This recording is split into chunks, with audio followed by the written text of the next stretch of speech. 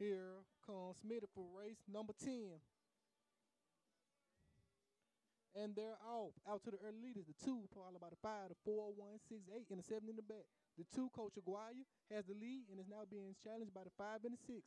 Making their way into the home stretch, the two maintains his lead and is now being challenged by the six.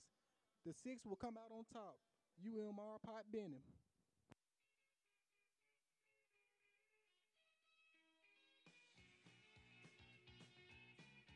Gentlemen, race number 10 has gone official.